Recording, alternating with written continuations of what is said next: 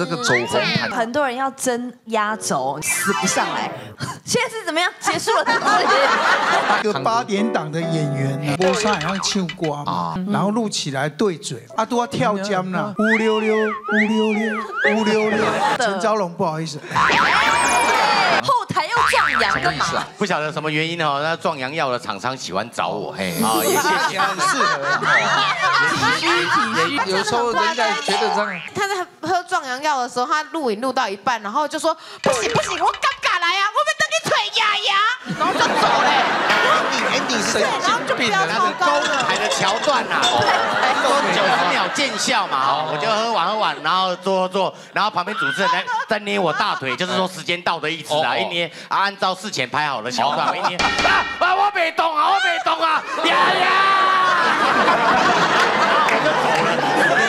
不只是壮阳药的代言呐，哦，产产品发表会啊结束以后，不是媒体要拍照吗？嗯就在后台那边拍拍拍拍拍。后来那个厂商哦，突然拿出一个硕大无比的用粘土做的假 假老二，假老二，阳光的工具然后就扛出来，那多大你知道吗？大概从地上哦，大概到我的腰这样子，这样短衣啦。然后说要我捧着拍，他说这样子比较有亮点。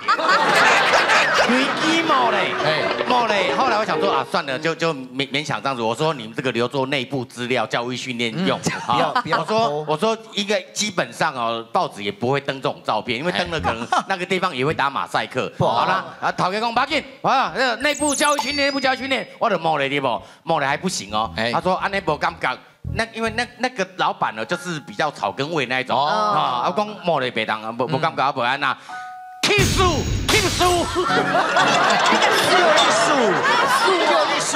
艺术哦，你讲 kiss 啦，台湾国语，台湾国语，艺术，你给你讲 kiss，kiss 啦，你到底平常都在接什么工啊作？你就真的亲啊。没有也不行啊。啊，。记得几几家你也探的。啊，我懂。哎啊，过来。我，跟五样个谈嘞，哎，啊个卫生棉对怎怎么后台怎么这个乱是我的。糟糟啊？嘿，其实这个卫生棉是发生在校园，我们以前那个时候校园好多，但自从露露出现之后，我们都没校园。没有没有没有，我现在也不主持校园了。那个时候卫生棉是因为学校的那个赞助商都会很多，然后呢，他们就会说要要 push 他们的东西，可是重点是要看歌手，因为那时候走校友的歌手都是例如说什么曹格啊，然后 J J 啊，都是唱情歌的，然后他们就说，可是要我们要那个要卫生棉要下对，然后他就叫他们玩那个卫生棉拳，可是你不可能叫你不可能叫曹格来这边有翅膀啊有翅膀，我防漏啊我防漏，这不行嘛。还有这种啊？对，有有趣哦。对，因为他们厂商的设计会设计有有翅膀啊，我防漏，然后加长型啊，加长型，对对。然后我就说，可是这个歌手真的不适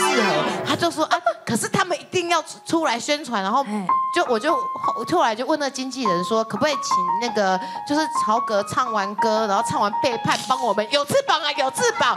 然后后来之后就不行，人家不愿意。对，对。啊就哦就是那时候啊这个主持人就要来，就你要玩啊。对，我要玩呐、可是重点是他一直希望我们是可以歌手跟学同学互动，但有时候歌手真的就不行啊。这。个诀窍就是不要跟经纪人沟通啊，都不要讲你不要跟歌手讲啦，对。台上直接就上台玩。直接来。你，就突然间来一下。哎，，说曹可来来，有翅膀有翅膀，没有侧漏啊，不侧漏。哎，就是因为你知道，你看你得罪多少歌手，他们就说不给玉林你哥你要。技巧性的一个带入，哦对，慢慢跟歌手跟他聊啊，慢慢聊嗯哎女朋友要干嘛，这些体贴，会不会去买啊哎，会不会如有没有可能帮？对，如果女朋友如果很很突然，会不会，会不会去啊买？买？你知道？那你真的有买吗？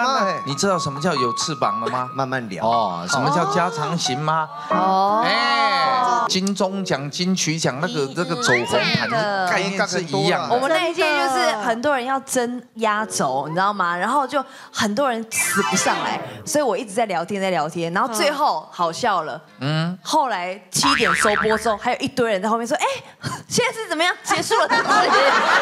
已经结束了，你还没有找到，你就不要出来。真的是不要走了。一个八点档的演员呢他有演一个戏啊，演的还蛮红的。后来就是他也去接这种类似尾牙秀这种啊，但是一的播上好像唱歌嘛啊，所以他要先录起来，嗯，然后录起来对嘴嘛。